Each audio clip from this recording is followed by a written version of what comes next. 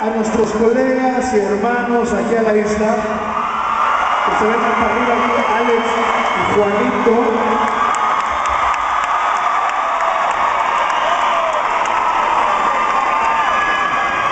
Un aplauso a estos cabrones.